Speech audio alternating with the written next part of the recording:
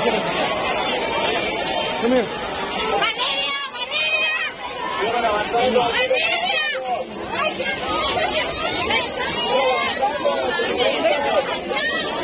Que graben cualquier cosa.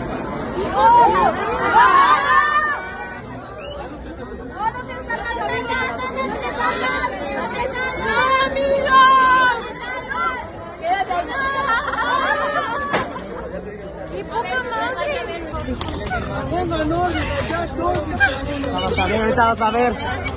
Oye, estamos pasando aquí a la taquilla y no ponen el caballo.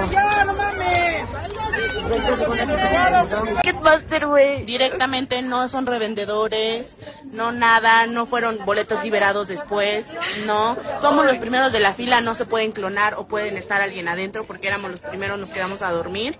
Entonces es injusto y no nos dan una solución, solo dicen que mandemos un mensaje a Ticketmaster. Y Ticketmaster ni siquiera está saturado, no abre la No página. hacen nada, nada. Hay más de 50 personas, no les miento, con el boleto clonado o no sabemos qué pedo.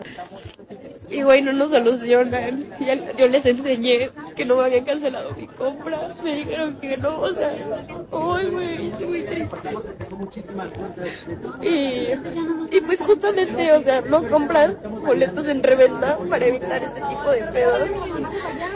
Y Ticketmaster te sale con estas mamadas, güey. O sea, Me formé desde las desde la madrugada. Este, saqué mi boleto en un centro Ticketmaster de Liverpool.